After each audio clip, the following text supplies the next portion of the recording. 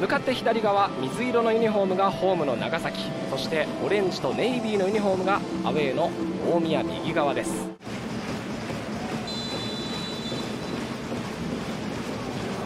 さあ90分今幕を開けました。左にエンドを取ったのがアウェーの大宮です。右から左に攻めるのがホーム水色のユニフォーム。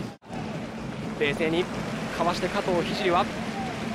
まだ持つ徳田左サバダ上がっていますがここでシュートを打っていく。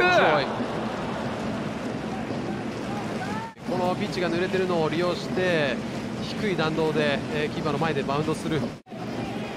大山残して小島です。2対1右使って小野、うん、小野。小野の左足、うん、ナイスキーパーです富澤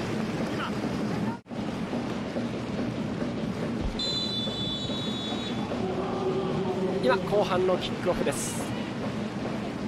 最終ラインから攻めていきます長崎。力を出し惜しみしないことそういった指示を送っています。その長崎チャンスを迎えるエジガルジュニオは、うん、右展開してウェリントンハットさらにマイクマンも追い越してきました。そのマイクマン自ら持っていく。シュートを打って決めた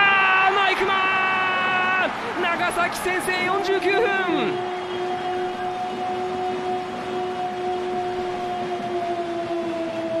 まずはここからですよね、しっかりと徳良選手が起点になりながら、まあ、ここの出すボールっていうのも非常に良かったですね、ちょっと後ろに戻りながらの寄ってこさせるようなボール出しましたし、あとはここ、ウェリントン・ハット選手が中に行くような仕草を見せて、マイコマ選手をシンプルに使いましたし、最後、ここですよね、股のですかね、股の間。難しい角度ですね。そうですね、股の間を狙ってではないと思うんですけどもこう逆サイド、はい、インサイドで丁寧に狙ったようなゴールでしたので。柴山から奥抜き中央は菊池。ど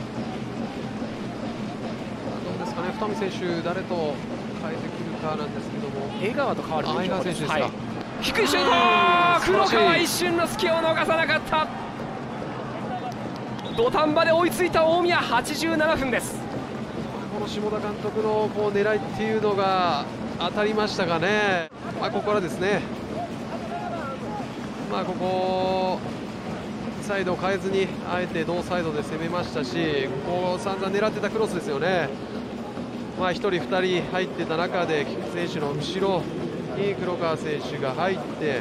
でそこにこのしっかりと当てた、インサイドですかね、面を作って当てたシュートですし、よく抑えの効いた。ここで試合終了の長いホイッスルです。